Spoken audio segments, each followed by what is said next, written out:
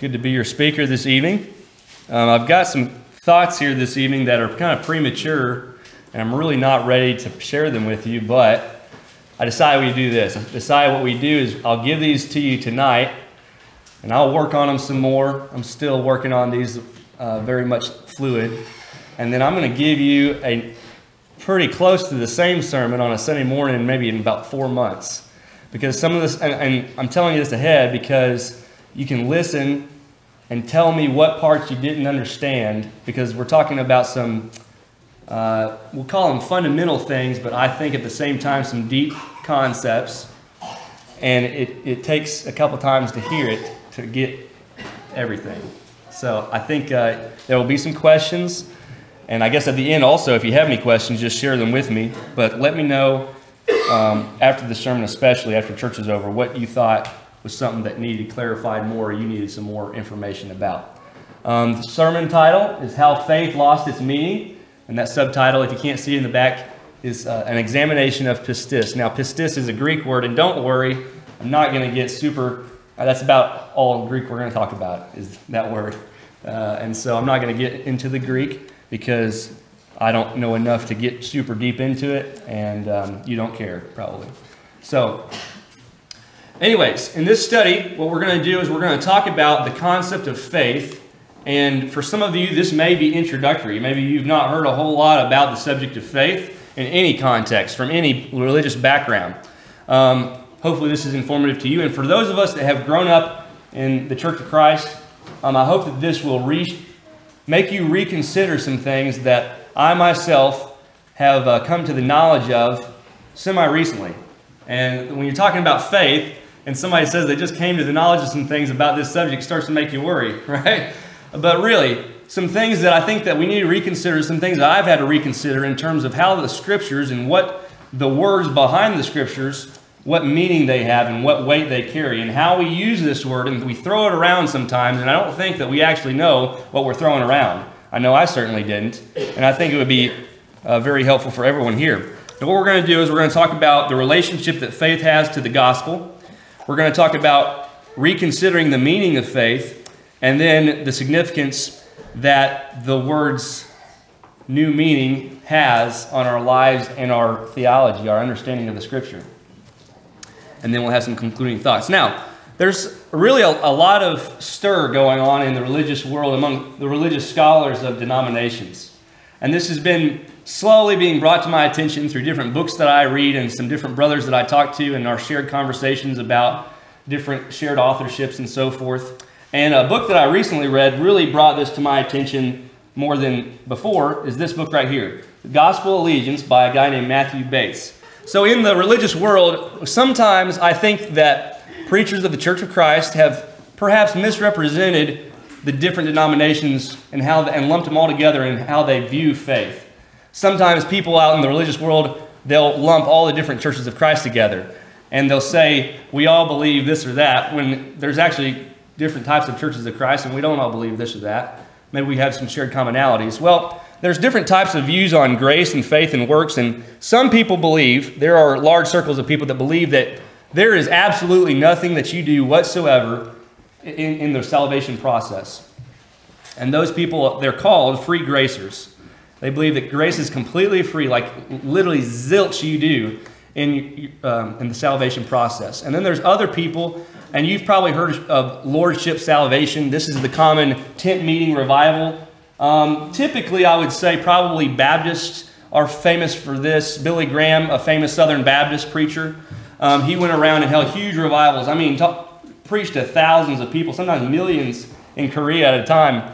Uh, just look it up on YouTube. It's really incredible how many people he preached to. Some of you older people know Billy Graham very well and he taught lordship salvation. Accept Jesus into your heart as your Lord and Savior, and in that moment you're saved. Well, what that has developed into in the religious world, and many um, leaders within different denominational ranks are coming to the realization, is that this has been misunderstood and misapplied.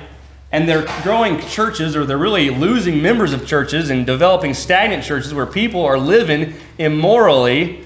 What do you expect? And now they're seeing a problem with it after about 100 years or, or less. And so maybe you go back to the drawing board. So that's what some scholars have been doing, some pre- preachers and pastors.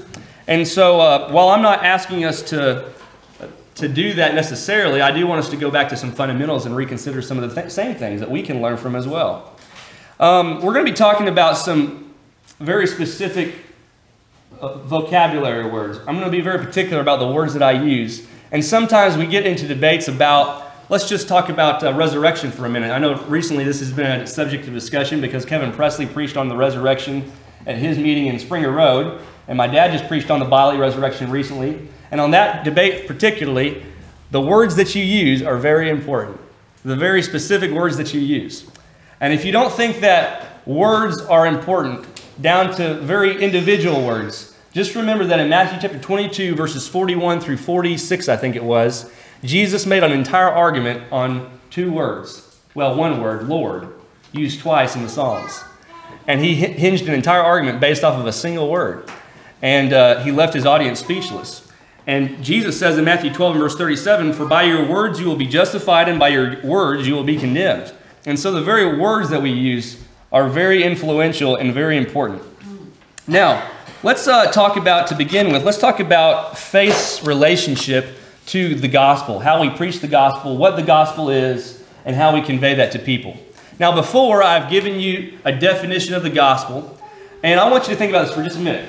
So, pin down and just think about in your head, without blurting it out, what is the gospel? Think about it.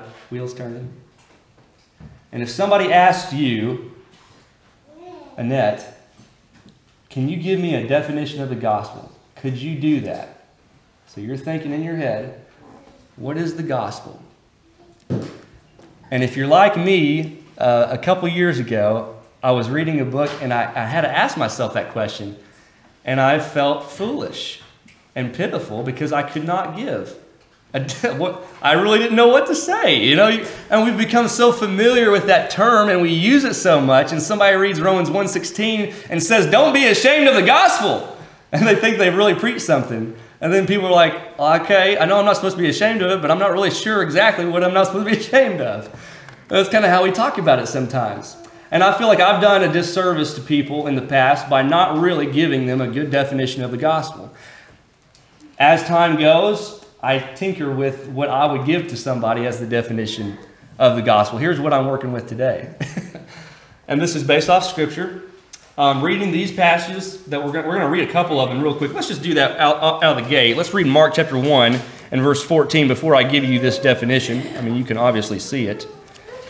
Now, after John was put in prison, Jesus came to Galilee, preaching the gospel of the kingdom of God and saying, The time is fulfilled and the kingdom of God is at hand. Repent and believe in the gospel. So, in that one, preach the gospel. He was preaching the gospel of the kingdom of God. There's something in relationship between the kingdom of God and the gospel. Repent and believe in the gospel, he says. Romans chapter 1, verses 1 through 5. Let's turn over there. Romans 1, verses 1 through 5. Paul, a servant of Jesus Christ, called to be an apostle, separated unto the gospel of God, which he had promised afore by his prophets in the Holy Scriptures, concerning his Son Jesus Christ our Lord, which was made, which was made of the seed of David according to the flesh, and declared to be the Son of God with power according to the Spirit of holiness, by the resurrection from the dead by whom we have received grace and apostleship for obedience to the faith among all nations for his name. There is a lot in that. we could probably preach three sermons just on key phrases from that verse alone. And if that doesn't tell you why this is difficult to arrange into a one sentence definition, well, there you go. Um, but those two passages being very important, I think good passages to hone in what is the gospel exactly. A couple more listed there you could read. 1 Corinthians 15 is probably the most famous account that is read to define it. But the gospel is the good news that Jesus the Christ came in the flesh, died on the cross, was buried, resurrected, and ascended into heaven to rule with all authority at the right hand of God, effectively destroying the power of sin for all that would give allegiance to him. Now that's the definition that I would give to somebody. Problem is I, I got to I'm working on memorizing that. I don't have it quite memorized quite yet. I'm going to write it in my Bible, work on memorizing that. So if somebody asks me, what is the gospel, I'll be able to give that word for word to them. And I think that you would do well to study these verses, think about that definition, and ask yourself, what would I take away from that, or what would I add to it that's lacking? And from what I can come up with, that's with given anything less than that would be too little. It really wouldn't be comprehensive enough. And adding anything more to it, well, it'd take two or three sentences perhaps. So I think that's about as short as I can make it and about as comprehensive at the same time. Now, what happens, like I said before, people read Romans chapter 1. We're already there. Let's read it. Verses 16 to 17. This is a famous, famous passage. And it says there, For I am not ashamed of the gospel of Christ, for it's the power of God to salvation for everyone who believes, for the Jew first and also for the Greek. For in it the righteousness of God is revealed from faith to faith, as it is written, the just shall live by faith. And that passage, if you really look at it and you pay attention to it, it's not really saying so much what the gospel is. It hints a little bit at what it is, but it's really more saying what effect that the gospel has on people. It's powerful and how people respond to it. They respond to the gospel by faith. And um, really, a lot of people say that faith, well, it's not up there anymore, that word. They'll say the word faith, uh, have faith in Jesus and you will be saved. That's the gospel. That's pro- maybe what you thought in your head before. Is that what you thought? Maybe. Somebody might say, have faith, or, or, I'm sorry, be baptized in the Jesus blood and you'll be saved. That's the gospel. Is that what you thought? Well, both of those statements have truth in them, but that's really, you're, you're coming up with a, what you should respond to the gospel with. You should respond to the gospel with faith and with baptism, is you really what you're saying. But the gospel, the message of it that you are to respond to, I would say, are, are these words on this page, with these coming from these verses and others as well. Now, um, let's go on to the next part. I think we've we've talked about the relationship of faith to the gospel. Faith is really the response to the gospel. It's not the gospel proper. So now we got that under our wing. Let's go on to the next point, which was reconsidering the meaning of faith uh, altogether. And again, we talked about how sometimes we use this phrase, but maybe we don't know exactly what we're saying. So I think how this comes about, I had to think of a good illustration, and I don't know this is a great illustration, but it's the one I've settled on for now. My dad, when I was about 18 years old, he, well, up to that point, he tried to get me to read and try to get me to love reading as much as he did. My mom, too. When we were homeschooled, she, she had us read, and she made us read these books that were just for the pits. Like Robinson Crusoe is one of the worst books I ever read. Never going to read that book again. And uh, anyway, he gave me this book at 18 years old, and it was called, well, I'm not going to tell you what it is. I'll tell you in just a minute. And uh, it's about yay big, and, and I thought, you know what?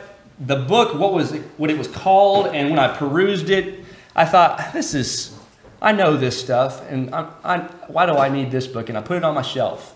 And it rested on my shelf. The shelves changed, I went to college and all that, and it continued to collect dust. And I didn't pick it up for like four years. Well, then eventually I started leading Bible studies with some members at church, with some friends of mine out at school and wherever.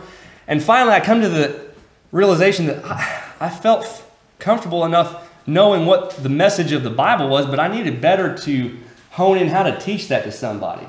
And so as I'm scouring my bookshelf, I come across this book with the inch of dust on it that my dad had given me at 18, and I pull it off the shelf, and as I'm going through that the second time, it's a gold mine, man.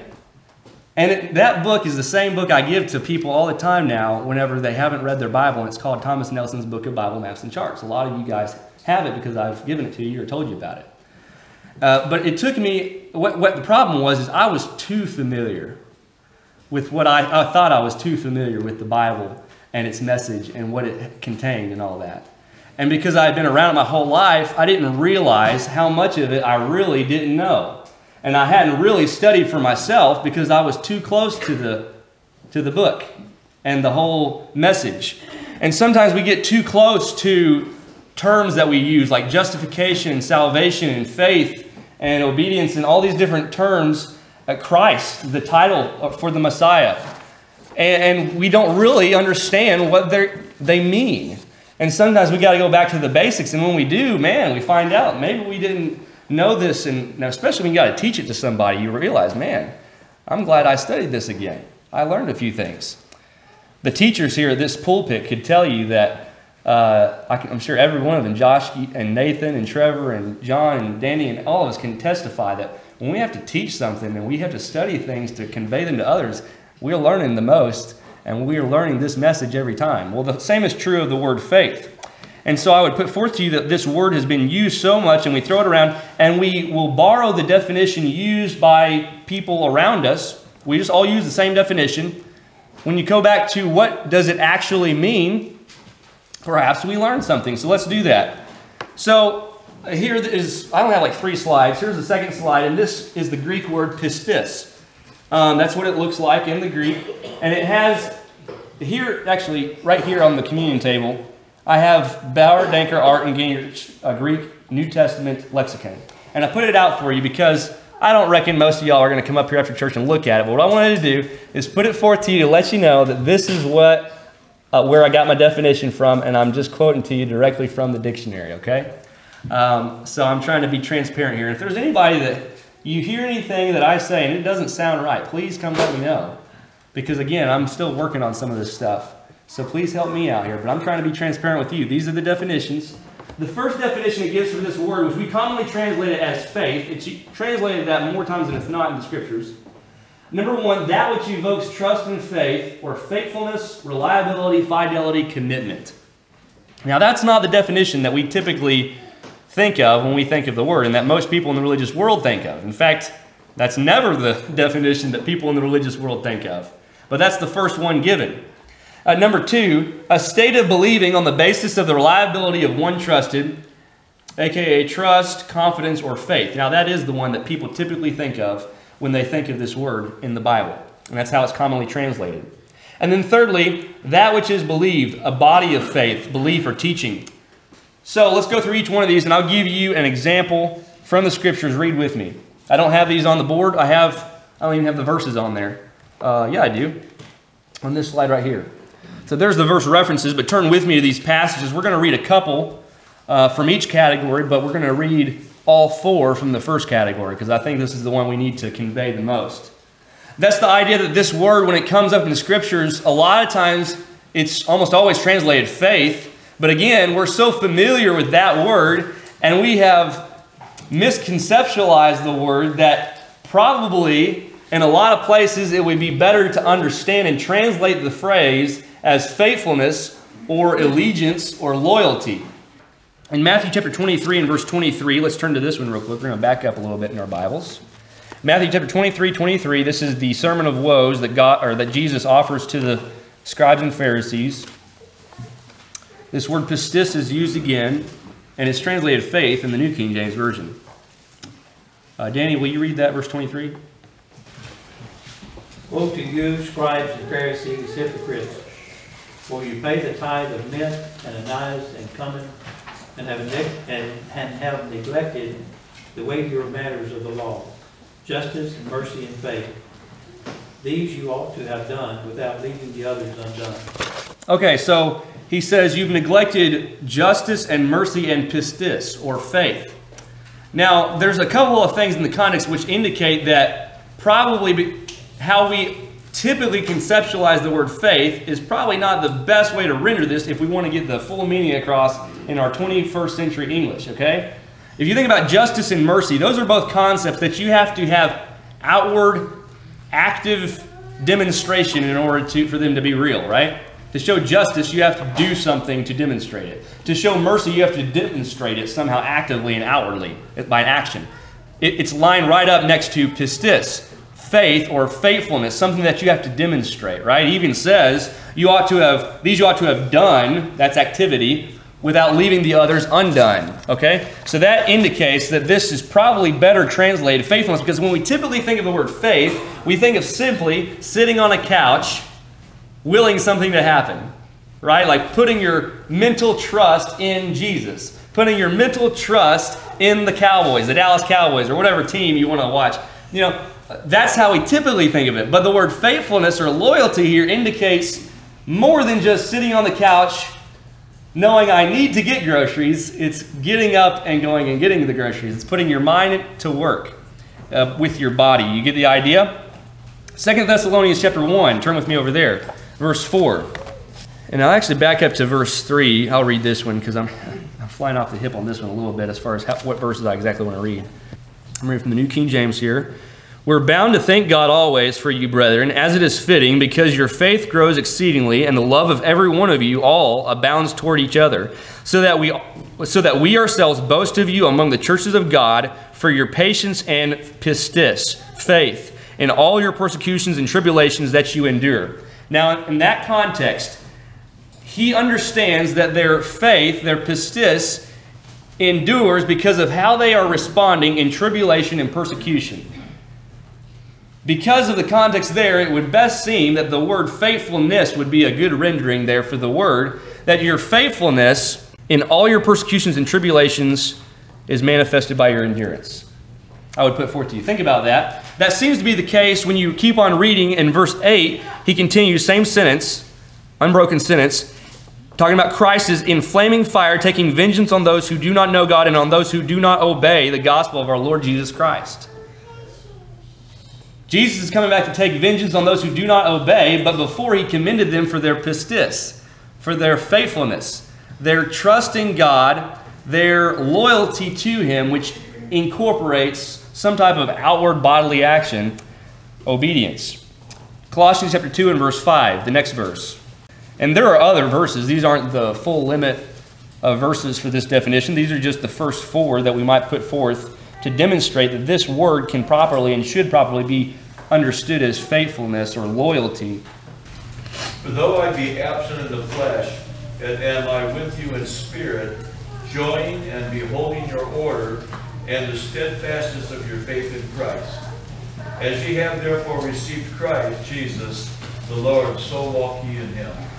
And so the connection between seeing their good order, their orderliness, in connection to their pistis, their faith, indicates to me that this is really better understood as faithfulness. Because he saw their orderliness, their good conduct, and he called it faith, it's understood he's talking about their faithfulness to Christ. And so that seems to be the best understanding. Verse 6 says they receive Christ. That's something you do. They continue to walk in him, they, he says. That's the idea of loyalty to Christ by your continued obedience toward Him, continued submission toward Him. So, all of that I put forth to you as examples of this first definition that we typically don't use it that way. We typically don't think of the, the word that way when we use the word faith. So, hopefully, that made sense to you. Um, and we could give more definitions if we need to in the future. Now, the next example, or next definition, is the idea of mental exercise, mental assent, uh, exercising your mind to think on something to put trust in it and confidence.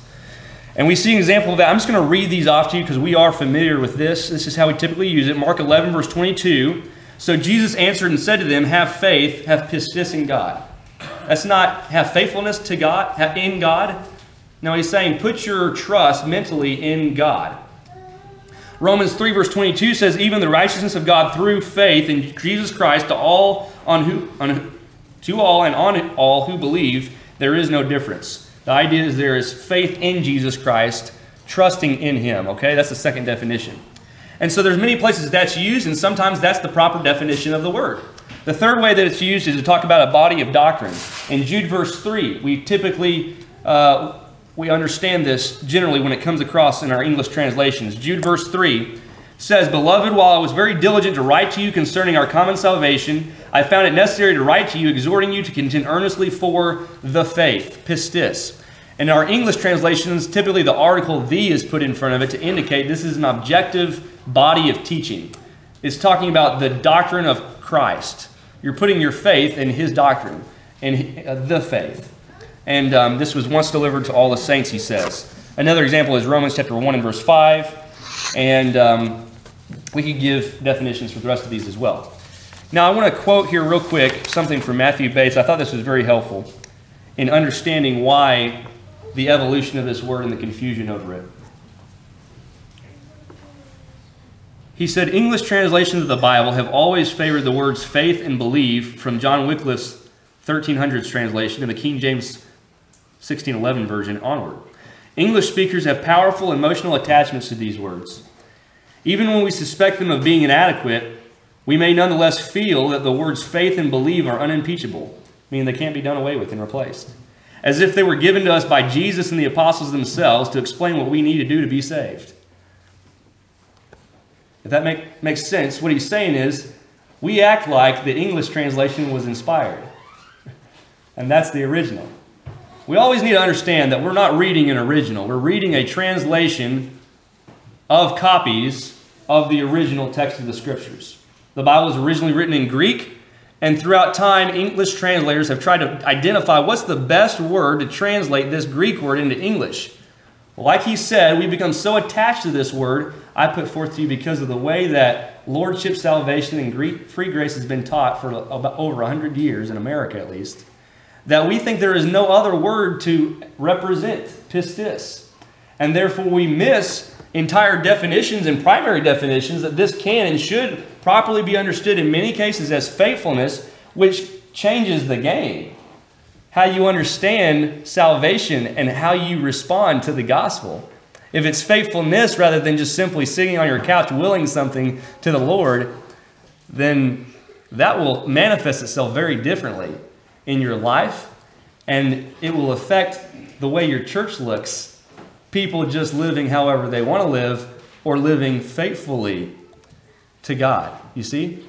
Uh, this, that should hopefully communicate the, the significance of this word study. What I do want to leave one last thing before we get off this technical binge, which you're probably tired of already, is I do want to say this. Um, I'm not putting forth to you that every place, hopefully I communicated this, that every place the word pistis comes up, we should translate it according to the first definition. I'm just saying it can be translated that way and should be many places. You say, How, Aaron, in the world do we know when to translate it one way and when the next? Well, there are specific verses that even scholars have difficulty on all sorts of words. And there's whole books written about it. How should we translate this word in this verse? And there's not common agreement. But many times, and this the only thing I learned in Greek over the last eight months or however long it's been, I don't know a whole lot. I don't feel like I've been doing that great. But the one thing I have learned is how do you know when to translate a word a certain way? Context, context, context. And if you have to take a guess, just guess context and look for those context clues like I was pointing out to you. In 1 Thessalonians, 2 Thessalonians 1, verse 4, I said this would be probably translated faithfulness there, probably because when you keep on reading, he says Christ is going to judge those who do not obey the gospel. That indicates how faith is being, that pistis is being used in that context. So the context says, to me, faithfulness. There. You get the idea. So context is the clue. And this is an entire, I mean, people have dedicated their lives to how to translate a word in a passage. And we owe a lot to people. If you think that um, there's no sense in studying foreign languages, well, you would not be able to read the Bible if people had not dedicated their lives to this. So I appreciate them very much, and I'm glad that they actually know what they're doing. Okay, the next thing we're going to go on to now is a little bit more applicable. And let's talk about the significance of all this, which I've kind of touched at it, okay? I've touched at it. Let's get a little more specific. Um, we've learned that the word faith can more accurately be translated faithfulness sometimes in many places. The idea of having faith in Christ is married to the idea of being faithful to Christ. And the very significant consequential aspect of all this is how we think and how we live. Now, I recently taught on Romans chapter 12 and verse 1. Turn back over there with me. And I want to make a point that I made in that lesson I gave recently called The Renewing of the Christian Mind. I'm not telling you anything here you haven't already heard in the last couple of months. We're going to read these passages and I'll make that common point. I beseech you, therefore, brethren, by the mercies of God, present your bodies a living sacrifice, holy acceptable to God, which is your reasonable service. And do not be conformed to this world, but be transformed by the renewing of your mind, that you may prove what is good and acceptable and perfect will of God. Okay. This passage, the key words that I want you to hone in on. He says, present your bodies a living sacrifice. This is how to become sanctified to God. This is how to offer yourself as an offering to God. Present your bodies as a living sacrifice. In verse 2, he says, by the renewing of your mind. Now, the point that we learned recently is that you cannot offer yourself as a sacrifice to God with just your mind. You can't just dedicate your mind to God and think, I really feel good about myself, because most people don't even do that. He says, take your mind, and what you put in your mind, what you feed your mind, will have a direct impact on how your body responds. And what you do with your body will in turn also have an effect on your mind. It's an interchangeable relationship, they can't be separated.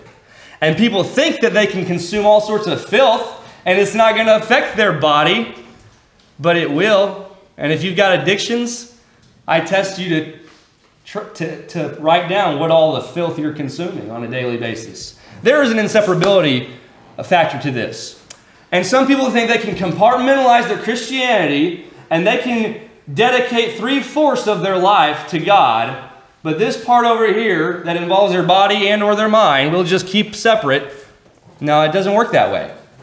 The idea of pistis, faithfulness, loyalty, allegiance to Christ, is that you give your full self to Him. There's nothing held back. That's why many people came to Jesus wanting to follow Him, and He said, No, you can't. Not until you get with the program. It requires full consecration, full dedication of your body and your mind, okay? So, this is the idea. And this is evidenced in a surplus of passages when we look at different uh, places where Christ or the apostles beckon us to obey the will of God.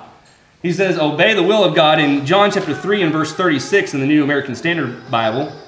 In John chapter 12 and verse 42, the, the the scribes, many of them believed Jesus, it says, but they were not willing to confess because of their rank in the temple. So they had the mental aspect down, but they weren't willing to go through with the bodily aspect of it because they liked their reputation too much in their position. Um, there's passages we talk about we have to do something. In Acts chapter 22, verse 16, the response to the gospel to Saul from Ananias was arise you can't just keep laying there on the floor for three days praying. Okay, you did that, great. But you got to arise and wash away your sins. That's a bodily response to this mental activity.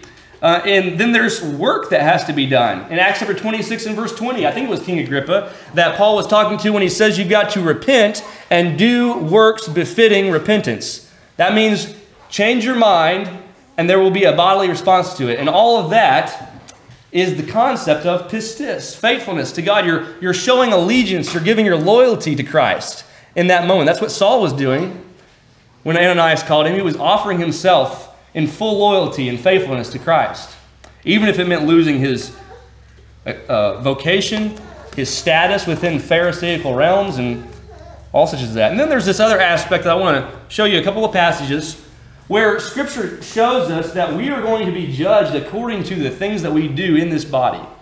And this is very important. This is very helpful to understand when you're talking to people about faith and understanding exactly what we're talking about when we mean have faith in Jesus Christ, okay? Uh, Matthew chapter 20, 16, sorry, verse 27 says, For the Son of Man will come in the glory of his Father with his angels, and then he will reward each according to his works.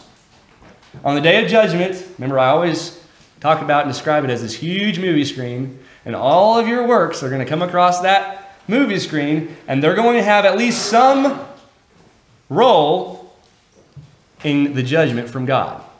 Another one, John 5, verse 28, says the same thing. Do not marvel at this, for the hour is coming in which all who are in the graves will hear his voice, Christ's voice, and come forth, those who have done good to the resurrection of life, and those who have done evil to the resurrection of condemnation. Doesn't matter if you're a Christian or you're not. When you come out of that grave, if you've not been faithful to Christ, and all that evil comes across the movie screen as I think about it, and you did not repent and give loyalty, give pistis to Christ, then you're going to be judged and go to hell.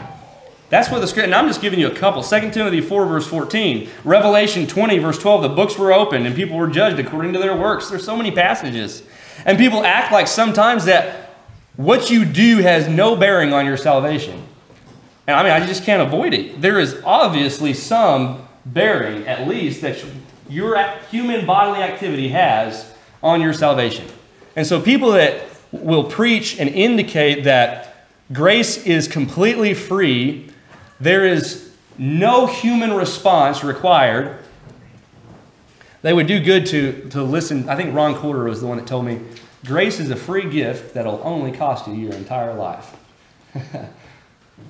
and that's really the truth. The free grace idea is just completely erroneous.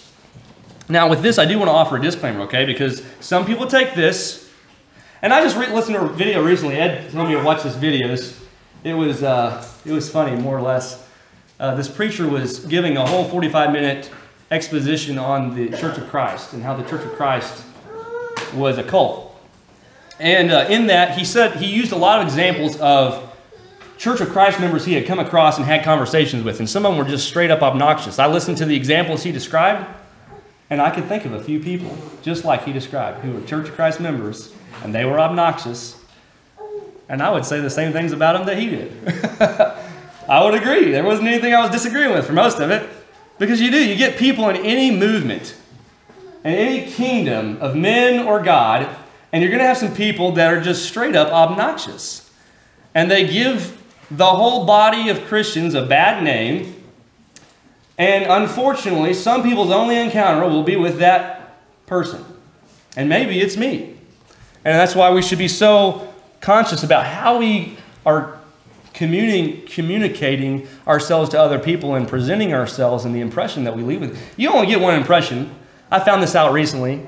You only get one impression. I mean, I learned this a long time ago, but it, you know, just recently it, it manifested again. You only get one impression with people, and it's really hard to change that. Well, anyways, what I'm not saying is I'm not saying that you can do enough good works and qualify for heaven that way. Okay? Now, I've heard some brethren teach sometimes, sporadically, basically that. And I've heard a brother say before that you are justified um, by your works, and they didn't mean it in the James 2 sense, where James says, um, faith without works is dead. and sometimes you hear that. And maybe somebody hears a Church of Christ member teach that you can do enough good works that you'll be saved and go to heaven. And that's unfortunate because that is false doctrine. I don't care what church you go to, I don't care if you did take the communion. okay, I'm not saying that you can work as hard as you can in this life and God's grace just fills in the cracks where your works weren't enough. Sometimes people have that concept. They don't maybe say it like that, but that's what they're describing. God's grace is filling in the cracks where I just couldn't quite do enough. I'm not saying that if you keep some short list of holy commands and you stay away from other, some other short list of big sins, that you'll be justified on the day of judgment. That's not what I'm saying, because sometimes we like to create these catalogs of if we eat of the communion and we do all this other stuff and we aren't super bad, then we'll be saved. That's not what I'm saying. Don't misunderstand me. Some people preach that. That's not what I'm saying. And I'm not saying there's only that there is some saving power in the very act of taking the communion or that there's some saving power in the water of baptism. Now, that's, that's a lot of times what people pre- say that we preach. And maybe some people do preach that. Maybe some Church of Christ preachers do preach that and members. But that's, I want you to know that is not what I'm saying.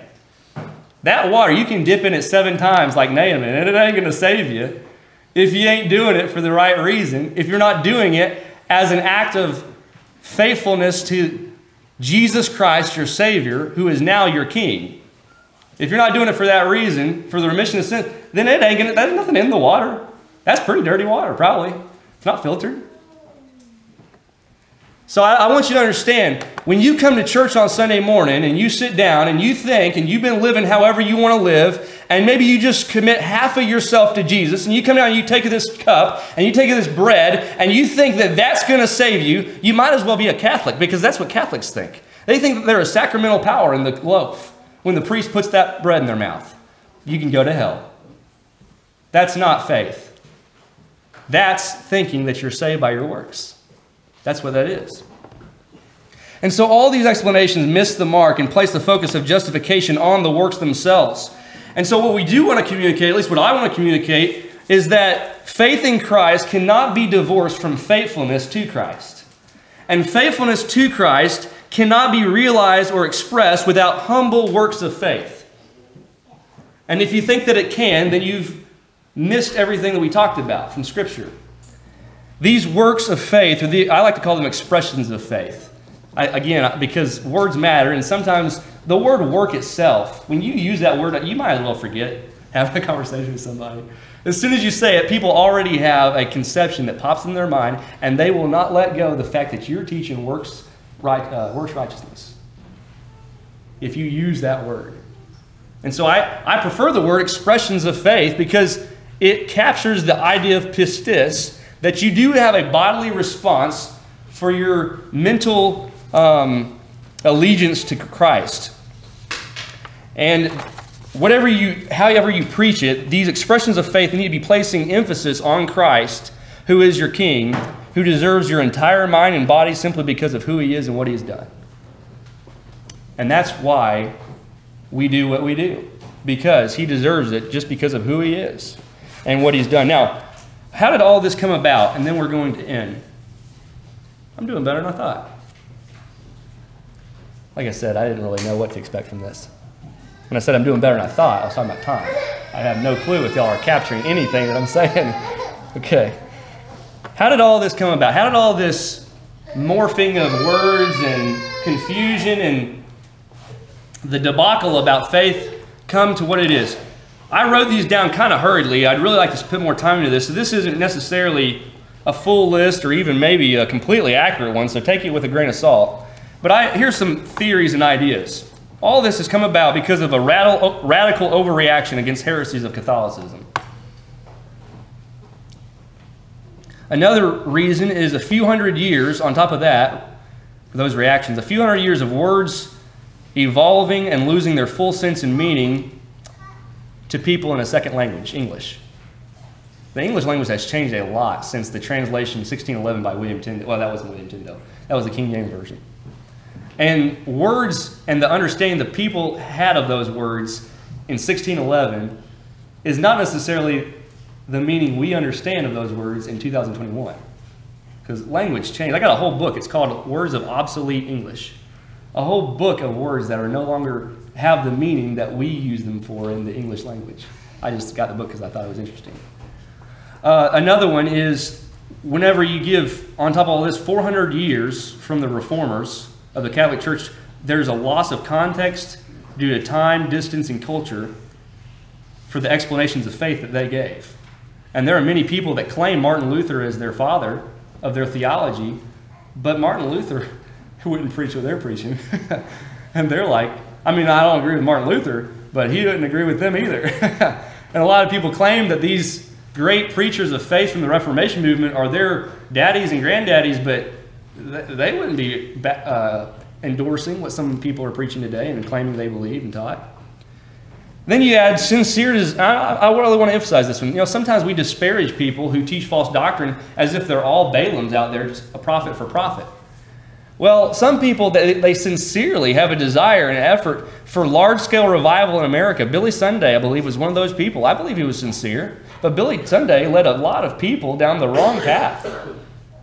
He taught this lordship salvation stuff. Just accept Jesus into your heart. They have a moment's salvation experience. They go on their way. Nothing changed. They don't have allegiance to Christ. Nothing changed. Hundreds of thousands of people came to these tent revivals out of sincere efforts. And I think even as that goes today, you have market driven churches who they, they think the success of preaching the gospel, whatever they call the gospel, is large numbers in buildings. And if you think that because that number on that sign right there is getting higher and higher each Sunday, that we are a successful church, or the gospel is being preached here, that's absolutely no indication of the gospel being preached here. That number could go down to 20 and has no bearing as to the actual effects of if the gospel is being preached here or not. Okay? That's how people think today in the market driven church movement. You add another 50 years of people living out faith in Christ as they define it improperly, and uh, we get too familiar, you see, with the word, when really we're not familiar with it at all. And so, all this said, I want to read Ephesians chapter 2, verses 8 through 9. Turn with me over there. While you're reading what the Bible actually says, well, okay, what the Bible actually says. What you, when, while you're reading what the New King James Version or whatever translation you're using says, because you're not actually reading the Greek, I'm going to read to you my translation based off of everything that we've said so far. And again, I'm not sure this, I might change my mind about this. Somebody might uh, show me, I'm still working on Ephesians 2 8 and 9. This is a difficult passage. But uh, I think this is, expresses best in 20, 2021 English what this is saying. For by grace, verse 8 of Ephesians 2, for by grace you have been saved through faithfulness, and that not of your own doing, it is the gift of God, not of works of merit, lest anyone should boast. And from here on is the New King James Version. For we are his workmanship, created in Christ Jesus for good works, which God prepared beforehand that we should walk in them. Interestingly enough, most people don't read verse 10 when they're reading this famous passage. We were created for good works. And that is expressed properly when you understand it as faithfulness as opposed to some meritorious deed that you do and then you go to the temple to pray and over here's a tax collector, but you look up to heaven and you say, I did all I was supposed to do. like the Pharisee in that Lucan parable. So, all that together, I'll leave you um, in about two minutes, we'll be done, with a list of things I'd like you to consider from all this review and a little bit of takeaway. I want you to think that words matter. And sometimes people say, this is just semantics. Well, think about what's actually being said, and sometimes semantics matter. I guess that's the message. what they mean is, oh, let's just not quibble over a few words. Well, Jesus quibbled over a few words sometimes and sometimes word, a few words do matter. How we say things that and, and what we mean can make or break the teaching of God's truth due to its the corruption of language over years. Uh, here's another one. We only perpetuate the misunderstanding of the Greek word pistis when we use the word faith to express the biblical concept of faithfulness. And so I'm going to try to do better. When I talk about being saved by faith, I'm going to try to make a deliberate commitment to say we are saved by faithfulness to Jesus Christ. And that slight tweak should make people pause and ask you, why did you say it that way? Or at least in their mind, they should get the point that you, you mean something different than what they mean. We need to be very, or we need rather to verify, and especially as teachers that get up here in this pulpit, we need to verify that we understand what the gospel is. I was just ashamed of myself being a teacher for all the years I have, and I could not give a basic explanation of the gospel. And the explanation I get, did give was a response to the gospel. It wasn't the gospel. And I just felt ashamed of myself. I'm just being honest with you. Um, and so we as teachers need to be uh, understand what the gospel is and that we're communicating the gospel properly to the church and to the world. That's very important. Even if you're just a member. Okay, we need to always be diligent in searching the scriptures daily to verify that what we've been taught all our lives is the truth. Um, that goes for anybody. I am not one who's going to get up here. I'm not for hiding certain things because people just can't understand it. Well, if they can't understand it, just be transparent and show it to them. And maybe they don't understand it, but don't hide it because when they find out that you're hiding things, that just destroys your reputation, if anything. Besides that, you're jeopardizing that person's soul because you don't know everything. So we need to be a people like the Bereans, diligent in searching the scriptures daily to verify that what we've been taught our whole lives is the truth, that we're not too familiar with it, that we are actually unfamiliar with it. I have three more things here. If we misunderstand works and how they fit in the process of justification, we need to understand it. Well, if you find out that you did misunderstand works and how they fit in the process of justification, we need to understand it and we need to start correcting each other when we hear the scripture misrepresented. Uh, I think that would do good in a friendly, brotherly way. Now, while we do have a responsibility in being saved, we need to emphasize the work of Christ on the part of our justification and sanctification so much that no one can mistake us for preaching justification by works of merit. And I'll just be transparent again. I feel like I have not emphasized the language of Christ and his work and role in our salvation in my preaching as much as I should. I think back in time and I think, did I preach anything wrong? No, I don't think I did. It's just that, see, Paul, when he preached and he gave the Roman message of the gospel, he, he, had, he preached that Christ was the one that accomplished our salvation so much that in chapter 3 and verse 1, he responds to what's probably going to come up when people read this letter, and he says, Well, uh, then should we just keep on sinning that grace should abound? people might come up with that response and that thought might creep in their mind when they hear Paul preach that God's grace is what saves and that the work of Christ is what saves. And then he, he has to correct that and say, no, that's not what I'm saying. God's grace is important, faith is important, faithfulness is important. When you put it all together, still the credit should go to Christ. So much so that nobody can mistake us for preaching justification by works of merit. And then finally, I'll say, we need to live completely consecrated to Christ in both mind and body. We need to live by faithfulness to Christ's rule in our lives in every way.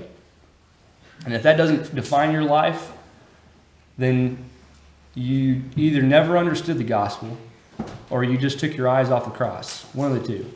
And you need to get your eyes back on the cross tonight by dedicating your full mind, body, and strength to Christ.